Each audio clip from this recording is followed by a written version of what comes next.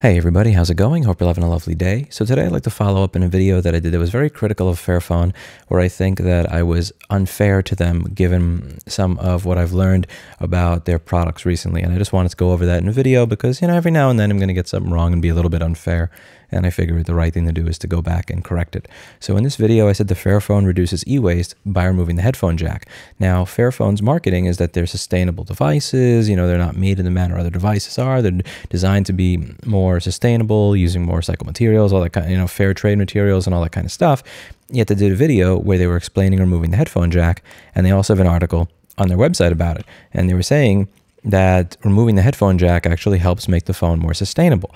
Now, people in my audience don't tend to appreciate paying more money to get less functionality, and they don't appreciate being pissed on and being told that it's raining. When you look further through their site, you'll see that they sell wireless earbuds now. And it was actually at the exact same time that they started selling wireless earbuds that cost about $100 that you cannot replace the battery on, that they removed the headphone jack from their product, which is not a very sustainable thing to do. It just seems like a way to sell more of your Bluetooth earbuds that are literally disposable because you cannot replace the battery on them.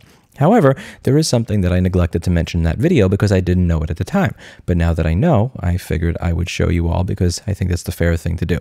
So many phones today, like many consumer electronic products, do not come with schematics.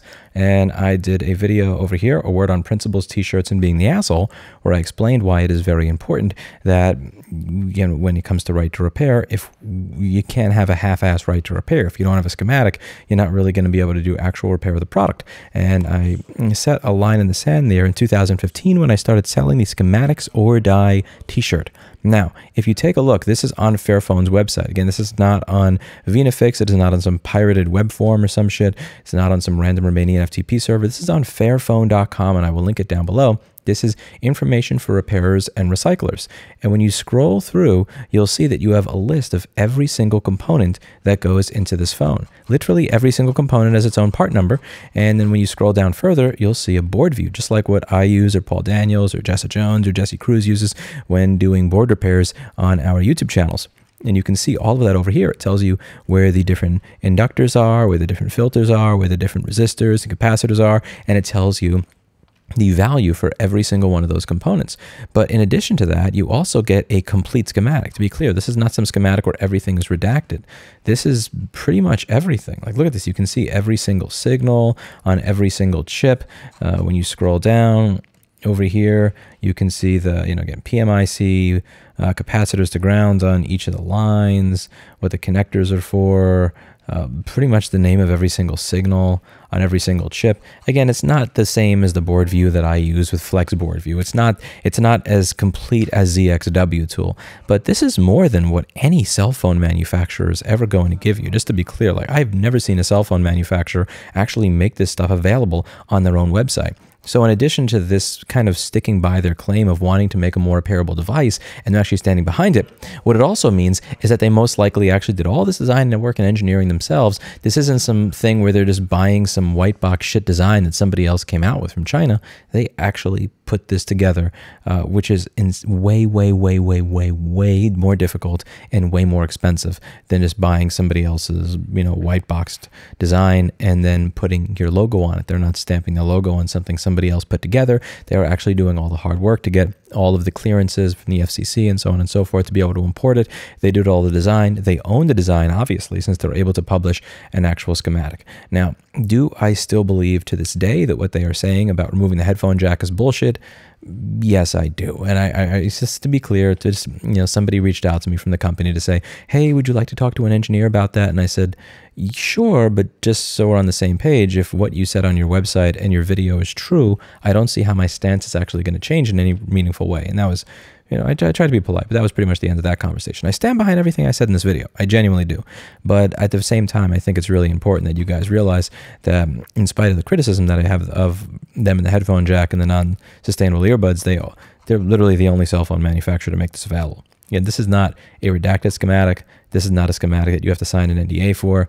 This is literally like everything. And again, you know, is it in the Flex board view like format that I'm used to that makes things easy? No, it's it's not it's not the same as the XW tool or something like that. But no cell phone manufacturer does this. Like Apple doesn't make this stuff available. Samsung's not making this available.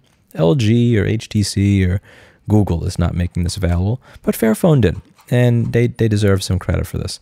So credit where credit is due for making schematics available and for, you know, sticking by the whole schematics or die principle of right to repair. We may disagree on the headphone jack, but, you know, this video really did not have context. And I should have said in this video when I made it that in spite of the fact that we disagree on this one area, they are literally the only cell phone manufacturer that I know of on planet Earth that is selling a reasonably usable and somewhat modern not completely buggy pile of shit smartphone to the public at a reasonable price where you can actually get a schematic. So that's about it for today. As always, I hope you learned something. My apologies for not including this information in my original video. And uh, here's Oreo. He's a cat. Oreo the cat was a good boy. He's a good little kitten. We're going to pet Oreo the cat. We're going to pet him. Look at how cute he is. Look at how cute that cat is. You know, sometimes people say that when I make the videos 10 minutes long, it's just to make more of that sweet, sweet YouTube money. That I actually extend the videos beyond where they're supposed to go. Just so that I can make more money off of YouTube monetization and ad revenue. I might just do that here. I, I genuinely, I don't believe anybody on this platform actually stares at that little OBS counter and thinks, oh crap, I have to keep talking for three minutes so I can make 18 more cents on this video. I don't think people do that. But I might just do it with the cat. I might just pet the cat for another three minutes, maybe another three minutes and five seconds. We literally do nothing but pet the cat. Look at this little cat. Look at the cat. He's so cute. He is so cute. Look at this little guy. He's so cute. He's a good boy. What a good boy. We pet the cat. We pet the cat. Do you have a schematic, Oreo? Do you have a schematic, Oreo?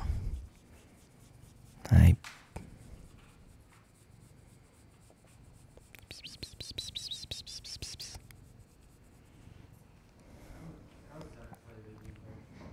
All right, that's for today. And as always, I hope you learned something.